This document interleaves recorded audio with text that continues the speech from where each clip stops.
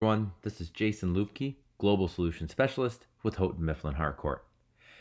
And I want to talk today about how you as a student can navigate through your course on the Global Learning Platform. Let's get started. So I'm looking right now at my student view of the Global Learning Platform, and I'm in a third grade reading class. But just know that these basic steps will be the same no matter what grade level or what class you're in inside of the GLP.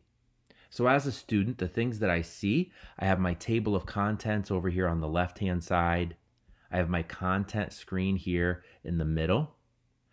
Across the bottom, I have two options. I have Explore, and when I'm in Explore, that's when I'm navigating through my table of contents and I can see my content here in this screen. And then of course I've got my assignments tab, and that's will list all of my assignments that my teacher has given me. You'll notice across the top, I've got the title of my course. So this will be whatever my teacher has called the course. That's what will be listed up here. As I move to the right, all of the content in the GLP is searchable. So I have a search bar up here. Notifications will show up in this area all of my grades will show up in this gradebook tab. This will take me back to my list of all of my courses, and then here's my profile information.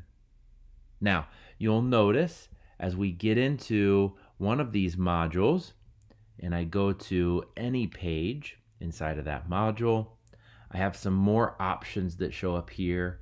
If my teacher has given this to me as an assignment, instructions will show up here my my assignment.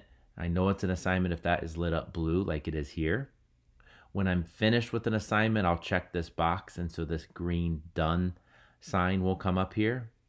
And I'm able to let my teacher know how I feel about the assignment by using the emoji pop-up window. So I can give it any kind of emoji that I would like.